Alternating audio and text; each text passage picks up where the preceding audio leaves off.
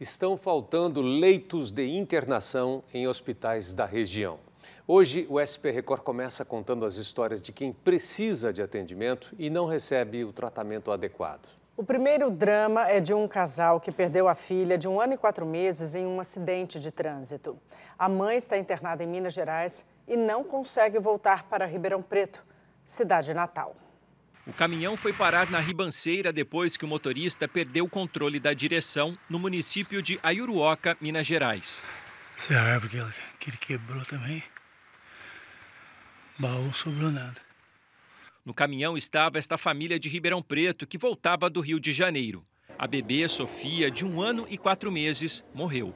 O pai, Erlande Oliveira, de 42 anos, teve ferimentos leves. A mãe, Elisângela Lúcio Ricardo, quebrou a perna esquerda.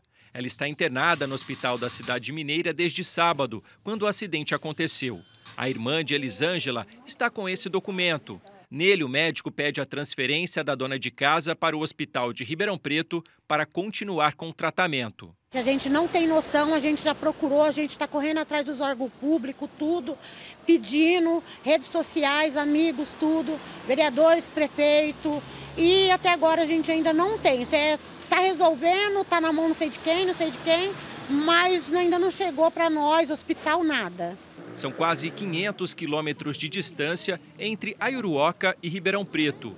O transporte de ambulância precisaria ser acompanhado por profissionais de saúde. Teria que vir de ambulância, acompanhada talvez de um médico, um enfermeiro, alguma coisa, para poder estar tá dando suporte para ela de lá para cá. Pela distância né, e pelo complexo da, do, do, do ferimento que ela teve, né, que foi muito grave né, a fratura exposta dela. Ribeirão Preto tem quatro hospitais públicos que oferecem o atendimento de ortopedia que a paciente precisa. O Hospital Santa Lídia, a Santa Casa, a Beneficência Portuguesa e o Hospital das Clínicas. Só que a transferência para o HC seria mais difícil por causa da superlotação. Esse vídeo feito na tarde desta quinta-feira mostra pacientes em macas nos corredores. Em algumas alas de atendimento adulto, a ocupação era mais que o dobro da capacidade. É o que aponta o painel de disponibilidade de leitos da unidade de emergência. Na sala de urgência, por exemplo, a ocupação era de 204%.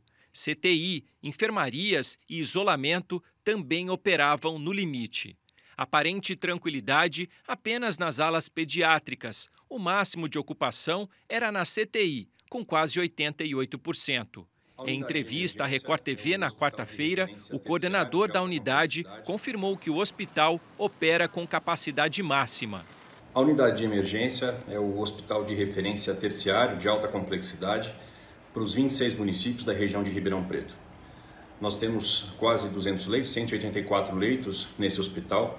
Trabalhamos diariamente com 100% de ocupação, ou quase 100% de ocupação, e trabalhamos hoje com fluxo, os pacientes é, são admitidos e os pacientes atendidos e depois então liberados. É assim que nós conseguimos admitir novos doentes no, no nosso hospital. Esse homem que não quer se identificar está com a mãe no HC desde segunda-feira. A idosa de 66 anos ficou três horas na ambulância no pátio do hospital depois de ser transferida da UPA Norte. Mesmo dentro do HC, ela ainda não tem um leito. A gente não conseguiu ver no prontuário dela, mas estava como vaga zero. E mesmo assim eles mandaram para cá dizendo que havia uma vaga. Isso já era uma meia-noite e meia, uma hora da manhã, a hora que ela conseguiu entrar para os boxes. E aí continuou o tratamento.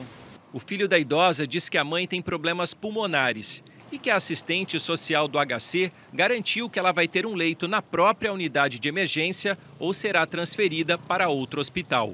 E hoje veio a notícia que nós iríamos ser transferidos para Serrana onde a família não tem condições de estar tá indo todos os dias lá. E ela, como é uma senhora de 66 anos, precisa de cuidados, principalmente dos familiares, mais perto. Aí você conversou com uma assistente social? Isso, conversei com a assistente social do HC e ela disse que isso vai ser resolvido e que vai manter ela aqui em Ribeirão Preto. Foram bem, é, bem atenciosos nessa parte.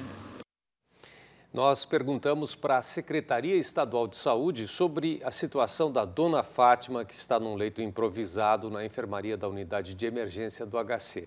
Mas o governo não enviou resposta. Nós perguntamos também sobre a lotação da unidade de emergência e a falta de leitos em outros hospitais da região.